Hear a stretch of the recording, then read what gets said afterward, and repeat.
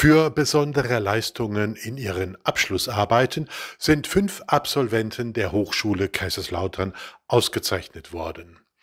Seit 1987 bereits vergibt die Sparkassenstiftung jährlich Geldpreise und Urkunden an die besten Bachelor- und Masterarbeiten des jeweiligen Jahrgangs. Die öffentliche Wertschätzung und Würdigung bleibe den jetzigen Absolventen ihr gesamtes Berufsleben über erhalten, sagte der stellvertretende Vorstandsvorsitzende der Sparkasse Kaiserslautern Hartmut Roden.